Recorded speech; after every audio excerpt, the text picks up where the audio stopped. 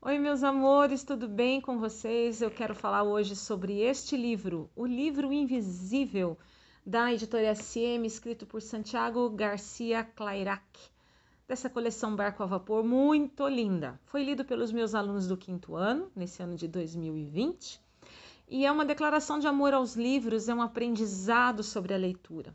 Esse garoto aqui da capa, o César, ele é bem revoltadinho porque ele não gosta muito dessa ideia de ficar se mudando. O pai é escritor e acha que para ter novas inspirações para livros novos, ele deve ficar mudando de cidade, e isso faz com que seus filhos não criem muitas raízes por onde passam.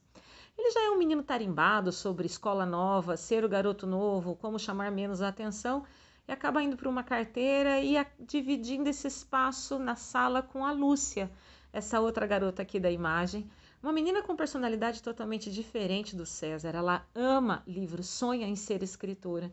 E quando ela descobre que o pai do César é escritor, ela alopra a vida do César até conseguir trechos do novo livro que ele está escrevendo. Então, aos poucos, a Lúcia vai ensinando o César a importância da leitura, o prazer de se ler, mas ele é bem arredio no começo, viu? Até que eles descobrem que o pai está escrevendo um livro chamado O Livro Invisível. As aventuras da princesa Hannah em descobrir o conteúdo desse livro mágico. Então o César vai se encantando. Quem nunca tinha lido antes um livro do pai e morria de raiva das produções que o pai tinha, agora está cedendo um pouco mais para esse coração, está ficando um pouquinho mais mole, né? Está querendo saber o final da história. E é isso que acontece com a gente que vai acompanhando a história desses dois e da princesa Hannah, a personagem do livro do pai do César. Então, no fim das contas, nós adultos e as crianças nos envolvemos de uma maneira para descobrir o que está escrito naquele livro. Ah, e tem uma metáfora muito bonita sobre o livro ser invisível ou não aos nossos olhos.